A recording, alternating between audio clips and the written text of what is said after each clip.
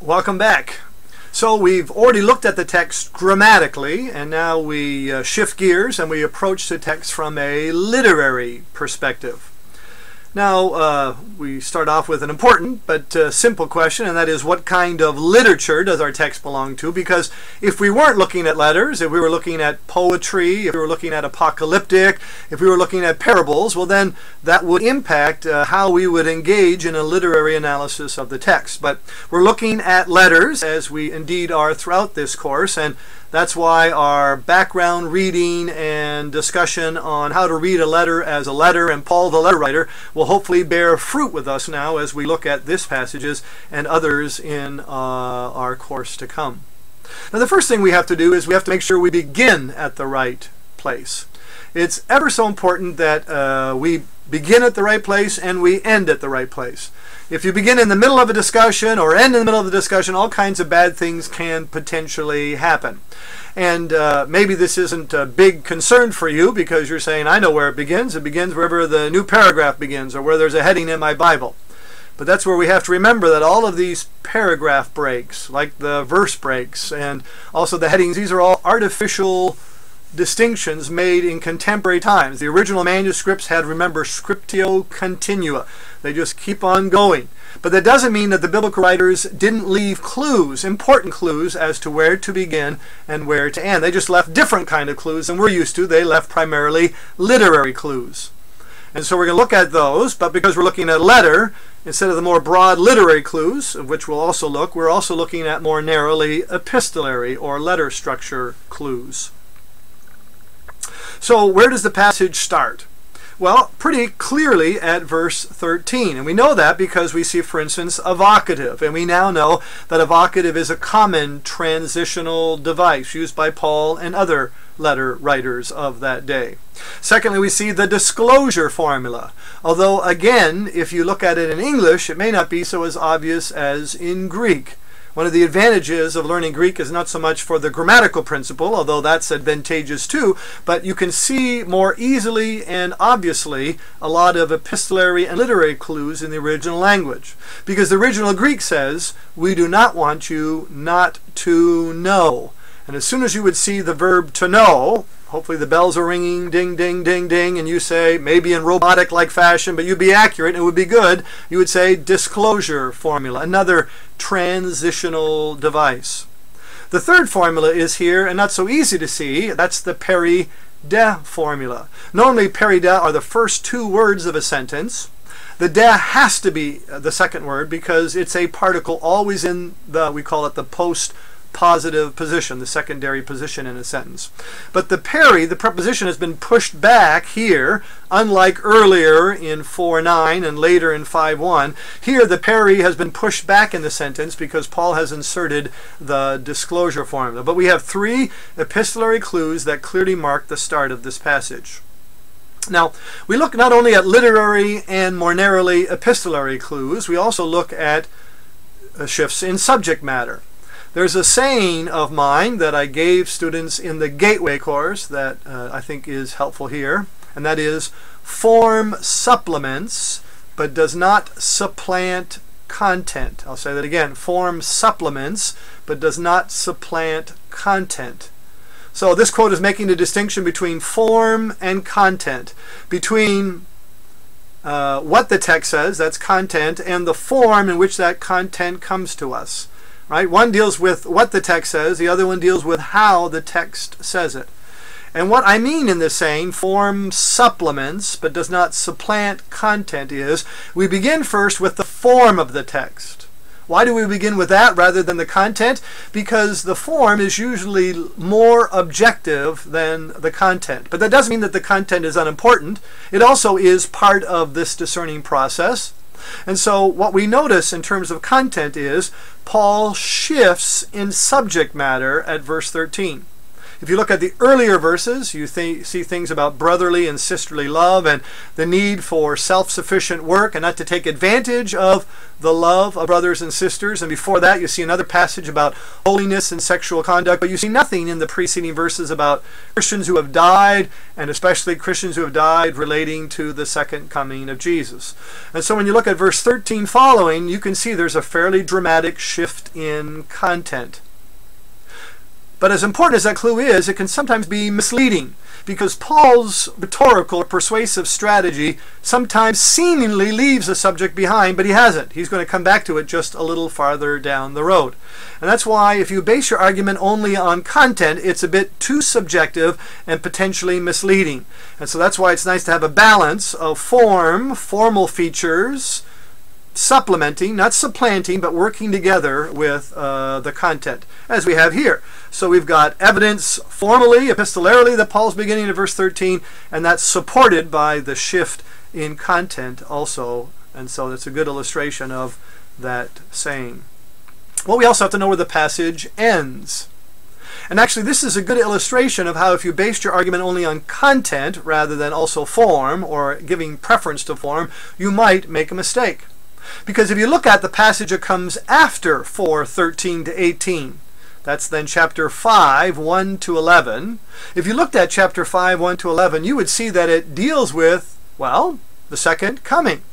And you might say, and indeed a lot of commentators do, oh, 4.13 to 18 deals with the second coming, 5.1 to 11 deals with the second coming, it's all the same thing, therefore we should treat 4.13 all the way to 5.11 as one legitimate and unified unit. But there are some important literary and more narrowly epistolary clues found here marking the end of the passage of verse 18 and the beginning of a new one at 5.1. For example, we see the Greek uh, word hoste. It means so then or therefore. And uh, just like parishioners today get excited when the when the pastor says therefore or so then, because then they know that the that the argument is almost, or the sermon's almost going to come to an end.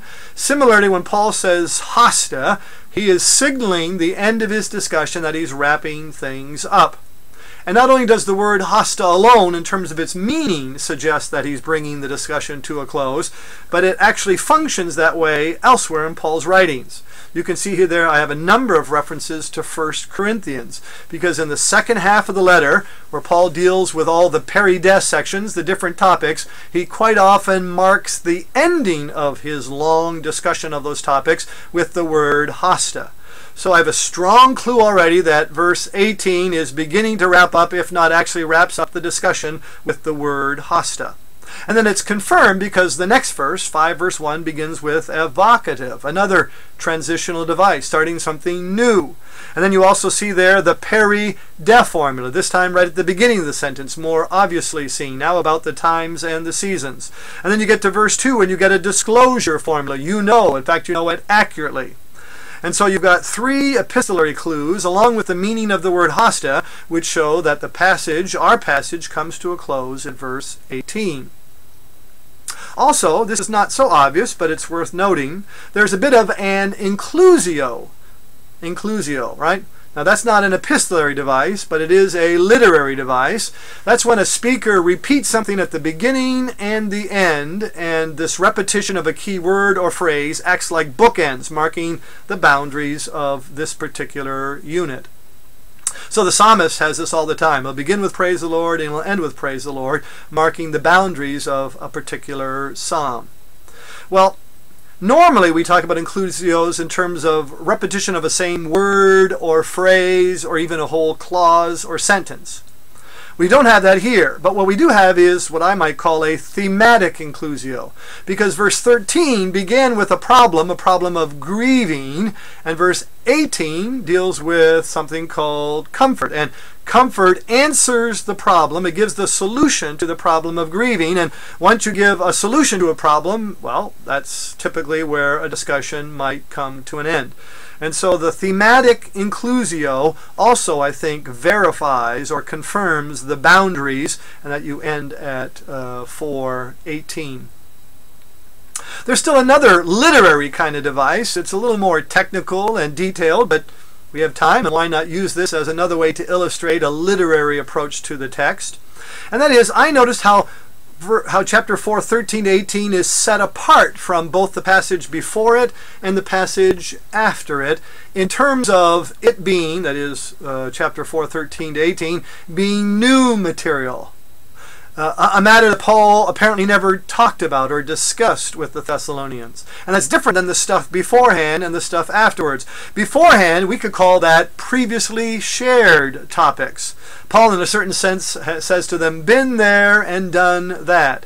You can see in 4.1, he says, We instructed, past tense. When did Paul instruct them how they should walk in a way that pleases God? Oh, must have happened when he was there for three plus weeks, when he first came to the city and started the church. Or 4.2, what instructions we gave you. Well, when did Paul give them these instructions? Again, Paul is drawing their attention to the back uh, period when he was there for three plus Sabbaths starting the church. Then in 4 6b, in the middle of a discussion about holiness and sexual conduct, he says, As we have already told you, right? So we've already gone over this business about how you should be holy with regard to your sexual conduct. And then in the last reference, 11b, that's in the middle of 4 9 to 12, about brotherly and sisterly love and how you ought to be self sufficient by working to provide for your own basic needs. Paul again says, just as we told you. So, four times in the earlier material, Paul makes it clear that been there and done that. We've already talked about this before. But then when we come to 413, and Paul says, We do not want you not to know well, that's different, right? We never talk to you about what happens to Christians who die before Jesus comes again. And so the next passage or verses, 413 to 18, is a little set apart from that which is beforehand. And the same thing is true from the passage that comes afterwards, because when we look at 5.1, and we've already seen how that starts a new topic, yes, it's still about the end times, but it's a different topic of the end times. Paul says in 4:1b, we do not need to write to you, right? Why don't you why doesn't Paul need to write to you about the times and the seasons? Well, because you already know that. We must have already told that to you when we were with you beforehand. And verse 2 is even more clear. You know it, and you not only know it, know it, but you know it very well. And so you can see that 4:13 to 18 the boundaries are set apart our passage from the text both before it and after it. All right. Now, I grant you that everything we've said so far under literary uh, typically won't make it to the pulpit or to the classroom, right? But that's sometimes the way it is with exegesis. There are important things that we need to do to understand the then and there of the text, but when we move to the here and now for today, it's either too technical or it's not, uh, so to say, relevant for our audience. But it, it again is important. So, so far, we're not quite done literary, though, because what have we done? We've marked the boundaries. I know that it begins at, at 413, uh, my text, and I know that it ends at 418. And so if I could draw it on a board, I've kind of got a blob of text. I don't have that many verses, but from verse 13 to 18, I have all these texts. And now I know this is my, what I'll call it, my legitimate preaching unit or my legitimate literary unit or my legitimate pericope on which I'm going to teach or speak, right? I know where it begins, I know where it ends, and so let's go.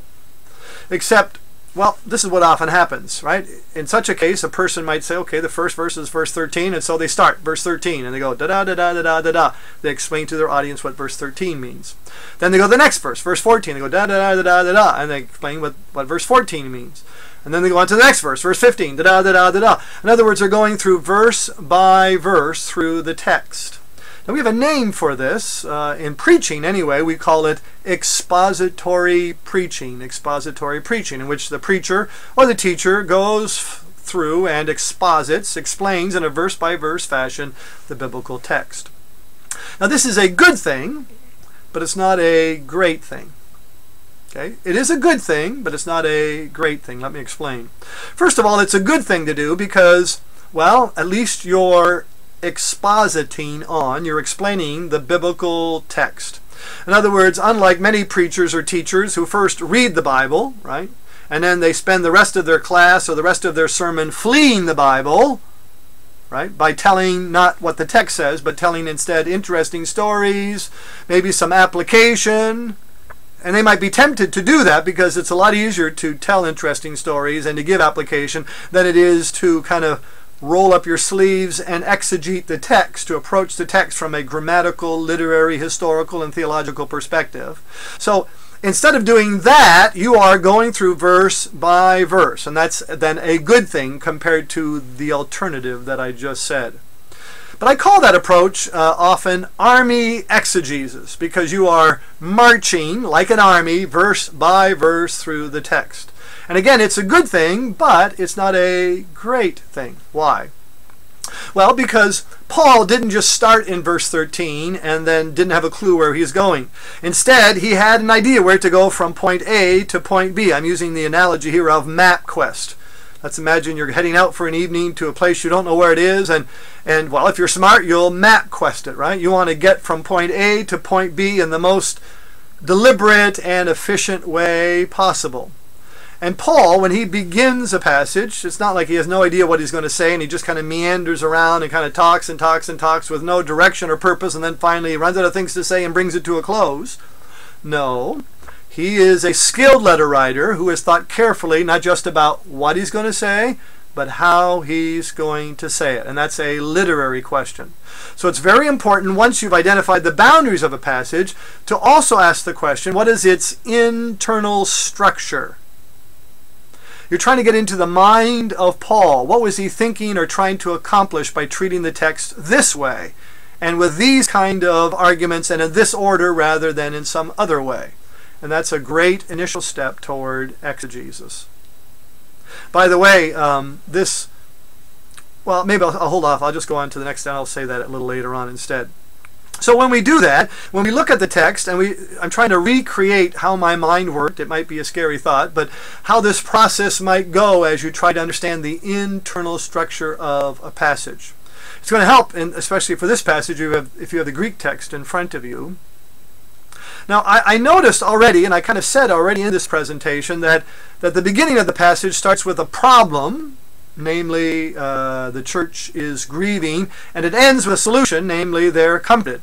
So I already kind of have a sense about how 13 is a kind of an introductory verse, giving the problem, and verse 18 is a concluding verse, and I know it's concluding also because of that hoste, that marker, and also the closing, that kind of thematic inclusio, closing command to comfort, the opposite, the solution to grief. So now I'm thinking, well, how does 14 through 17, those remaining verses in between, fit? And then when you look at the Greek text, you see in verse 14 a little Greek word. In Greek, it's gar. G A R. And instead of saying, you know, it's only a little word, how important it can that be? And in fact, some of the translations, you know, they just omit it altogether. It's not even found there in the translation. No, no, no, no. These little particles, these little words are very, very helpful in revealing what Paul was thinking and how he intends this statement, this sentence, to be understood in light of the surrounding ones. So the little particle gar often introduces an explanation or gives a cause or a reason for something that has just been said. And so when I see the gar that opens verse 14, I'm thinking, okay, Paul said something in verse 13, and now Gar, verse 14, he's going to give a reason why he said it. He's going to give some causal statement. Why did he say what he did in verse 13? Because of whatever says in verse 14. And then I'm trying to avoid, just for the moment, the actual content of the verses. I'm just trying to kind of get a big picture view of the text, not get lost in the details, and try to understand its macro structure. Then I notice the next verse also begins with a gar. And I go, oh, well, I guess if verse 14 introduces one cause or reason for what Paul said in verse 13, I guess verse 15 must give a second cause or reason for what he said in verse 13. And then I go to verse 16, and I say, well, maybe there'll be another gar, there'll be a third cause, a nice three-point sermon or something like that. And and that's where, especially in Greek, you can see, no, no, no, it's got gar in 14. It's got gar in verse 15 that opens, but then verse 16 instead opens with hoti. So I guess Paul didn't want these to be three equal parallel grounds. And so I guess that 16, 17 statement, that kind of long section there, must fit differently than the two gar clauses of verse 14 and 15.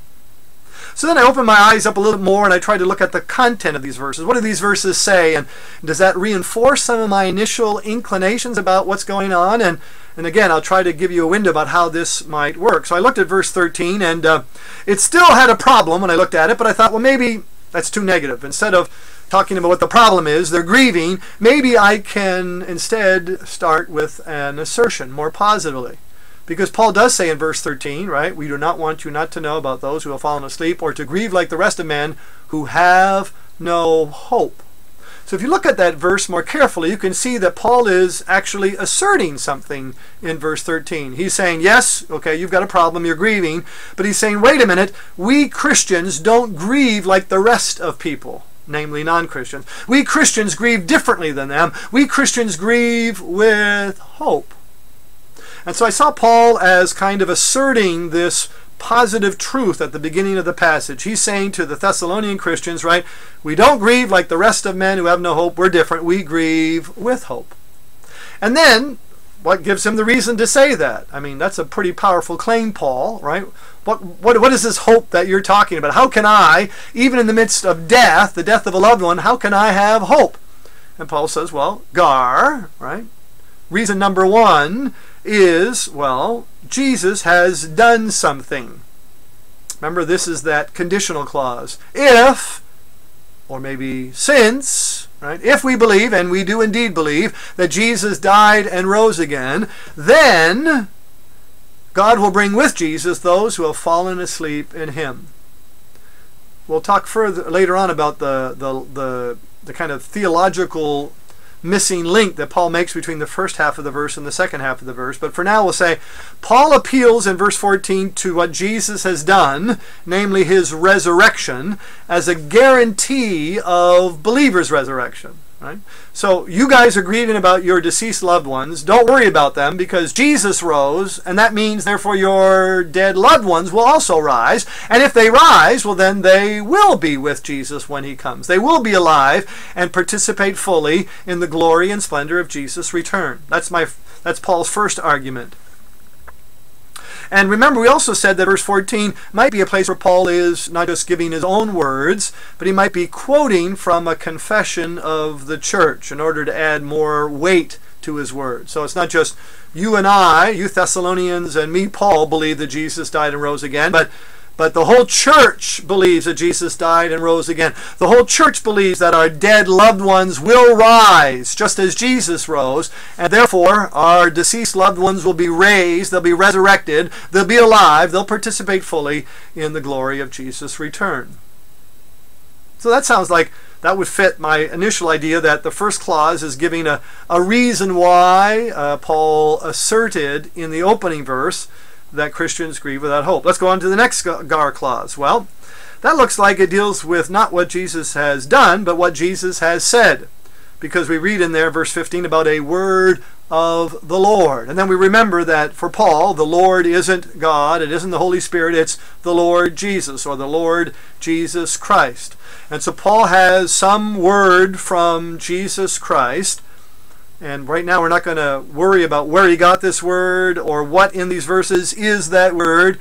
Right now, we're going to observe that Paul doesn't just give his opinion, he doesn't just guess. No, he says, I have a word of the Lord, an authoritative word of the Lord. And because it's from Jesus, it's reliable, it's weighty, it's trustworthy. And what is this word of the Lord? Well, Paul says, We who are alive when Jesus comes again, we will ou mē, emphatic future negation. We will certainly not, we will absolutely not, we will by no means be ahead of those who have already fallen asleep. Now, verses 16 and 17 are a little more tricky, but I thought about them longer than you have, and it became clear to me for a variety of reasons, and you can see that reflected in the commentary, that they explain then further the word of the Lord, right? They not only contain the word of the Lord, but they also offer Paul's summary of that word of the Lord. So Paul has the opening assertion. He gives one reason in verse 14, the weighty word of the church. He gives another reason in verse 15, the weighty word of Jesus, of the Lord, with some explana- ex- ex- explanation comments afterwards. And then you get verse 18, the hoste, the so then, the therefore, where he brings it to a close. And so if you mapped it out a little more refinedly, right? Here would then be my exegetical outline. Not necessarily my preaching outline, I'll say something about that in a second, but my exegetical outline. In other words, this is my understanding of Paul's internal structure. And I didn't just impose it on the text. I didn't just say eeny, meeny, miny, mo, looks like a main point over here, one over there. I tried to let the text speak as much as possible to tell me where the main points are and how many of them are and what order and so forth. So you can see again the more refined exegetical outline involves first then an assertion. Paul in verse 13 basically says, you know, Christians grieve, yes, and they grieve for deceased believers, yes, but they grieve for deceased believers with hope. Why? Reason number one. Well, a weighty word of the church. Because Christ's resurrection guarantees the resurrection of our dead Christian brothers and sisters.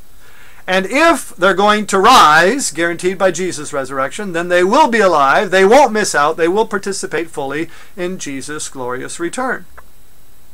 And then there's the second reason, introduced in verse 15. The first one was a weighty word of the church, right? It was a word of the church, not just Paul, and it was weighty because it included the voice of the whole church of the uh, er, of the early uh, early Christians. And the second one involves not only the word of the Lord, but it's weighty too because it's not just Paul's feeling or intuition. No, it comes from the authoritative word or voice of Jesus. And again, it's that emphatic future negation, right?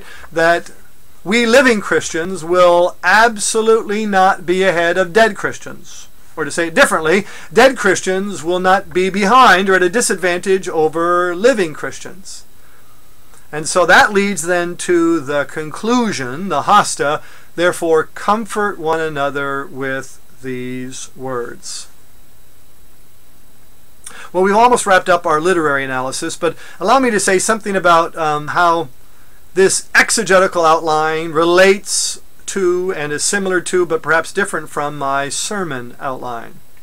So, the exegetical outline, right, reflects the structure of the text. And I personally like to have the exegetical outline become the sermon outline for my sermon. Seems kind of silly to do all this hard work to discern the internal structure of a passage and then throw it all away and sit down behind your computer and say, now I need some structure, I need some outline for my sermon, right? Why not have the outline of the text tell you and be a big part of determining what the outline for the sermon is? Because, you know, if you preach a sermon outline from the text, the good news is it'll always drive you back to the text. I'll say that again. If your sermon outline comes from the text, it isn't one you've artificially imposed. You haven't said, all good sermons have three points, I'm going to put one here, maybe there, and here's another good point, oh yeah. But if you let the text reveal to you, right, its internal structure, and you use that structure in your own sermon, and you follow that out in your preaching, it'll always take you and your hearers back to the text. And that's a good thing. You can never go wrong with explaining the text. That's the ground, that's the authority on which you preach and you teach. And that way, when people come to you and say, you know, I don't like what you said, or I'm a kind of annoyed, Pastor, because of this, or you claim that, and I'm not, you say, well, hey, sorry, you know, it's not me, it's not my opinion, it's not just my feeling. This is the text. Now, of course, there are other ways to uh, talk about the form of a sermon, and I'm open to them too. One common one we do here at Calvin Theological Seminary is the four page method, and there are some advantages to that structure. I especially like um, like it not so much as the form for my structure, but as a kind of a theological corrective. I'm in Paul a lot. At least that's my excuse for maybe this sin. And, the, and, and Paul, you know, often leads to kind of an exhortation of his audience, and I have to watch that I don't uh, just kind of exhort people to live certain way and to do certain things and thereby downplay the element of grace and how when we live a holy life, it's not in order to secure God's favor, but it's actually in response to God's favor. And so, um, you know, the one of the pages, I think you're familiar with the four-page method, you know, is grace in the text and then grace in the world. So the four-page method forces me to think whether I've done enough justice to that principle in my sermon. And I'm not against having the whole sermon actually form follow the four-page method either. But my preference is, as I've already indicated, to have the outline of the sermon reflect very closely the exegetical outline of the text. Indeed, when you and I get together, hopefully in person, and I have a chance to preach to you, then you should be able to hear in my sermon outline, you should be able to hear and then visually see the exegetical outline from which that sermon outline came from. Well, we've now covered the second of our four or five hermeneutical principles, the literary, and so we take a break, and when we come back again, we turn to a historical analysis of the text.